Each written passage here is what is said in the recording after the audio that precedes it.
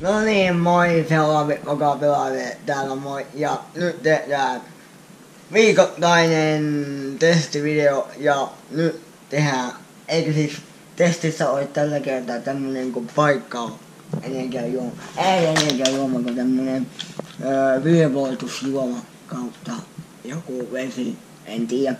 Mutta joo, nyt tähän, tähän, tähän Tuonne hyvä kuvaamaan tuommoinen hauska ää, viikon luontoääni video. Joo, ja eiköhän nyt vaan kaajeta tuo vaikka niin tonne lasiin.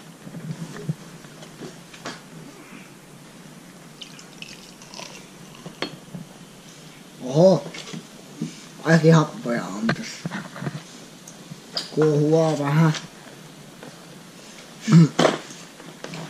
Ja eiköhän maisteta sitten.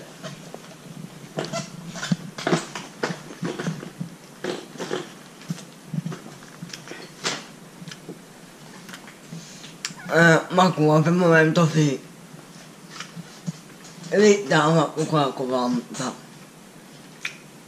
tai joku kotikarja ehkä jopa.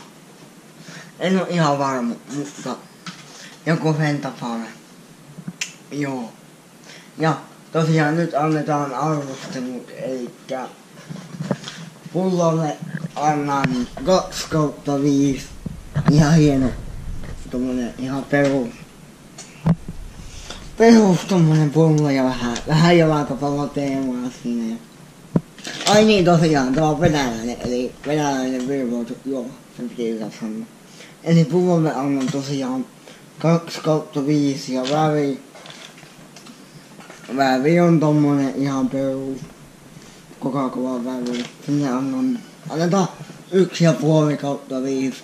Ja maistetaan vielä.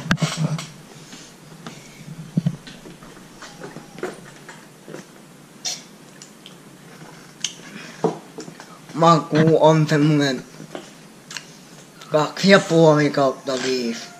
Ja tosiaan, eikä mä oikeastaan muuta tykkää videosta ja tilaakka ja se on ensi kertaan.